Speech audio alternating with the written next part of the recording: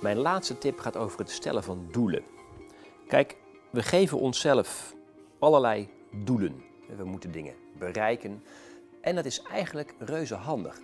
Probeer eens te realiseren wat je zou aan moeten als je geen enkel doel had gehad. Dan, dan weet je bij wakker worden al niet eens wat je moet doen.